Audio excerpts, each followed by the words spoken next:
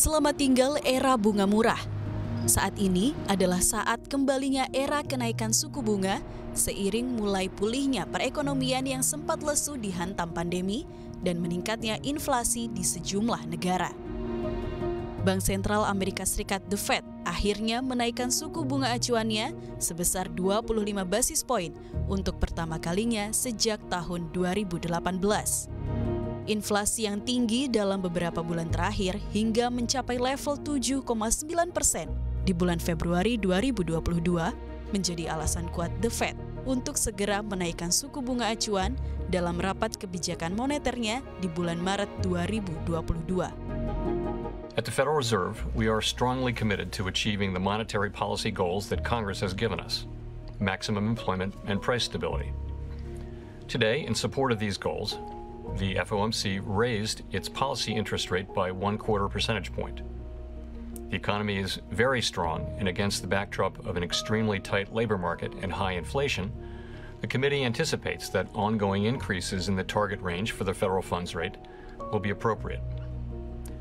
In addition, we expect to begin reducing the size of our balance sheet at a coming meeting.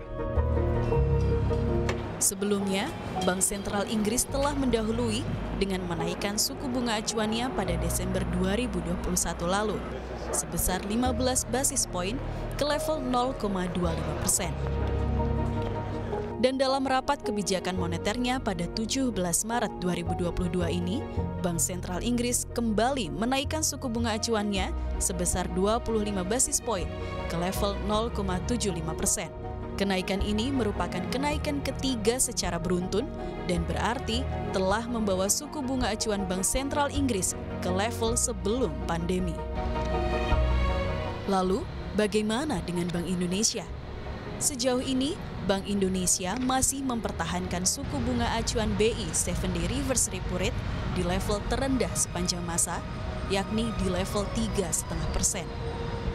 Karena berbeda dengan kondisi di negara-negara maju yang angka inflasinya telah meningkat pesat dalam beberapa bulan terakhir, tingkat inflasi Indonesia masih terkendali di kisaran 2 persen pada Februari 2022. Indonesia bahkan tidak pernah mencatat inflasi tahunan di atas 2 persen sejak Mei 2020 hingga Desember 2021. Ditambah lagi, stabilitas nilai tukar rupiah masih terjaga dan tidak mengalami gejolak yang berarti.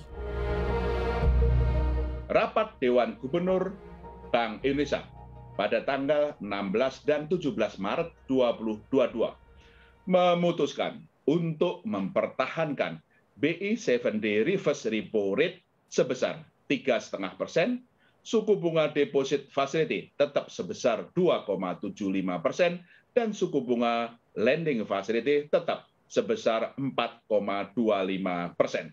Keputusan ini sejalan dengan perlunya menjaga stabilitas nilai tukar rupiah dan tetap terkendalinya inflasi, serta sebagai upaya untuk tetap mendorong pertumbuhan ekonomi nasional di tengah tekanan eksternal yang meningkat, terutama terkait dengan ketegangan geopolitik Rusia dan Ukraina.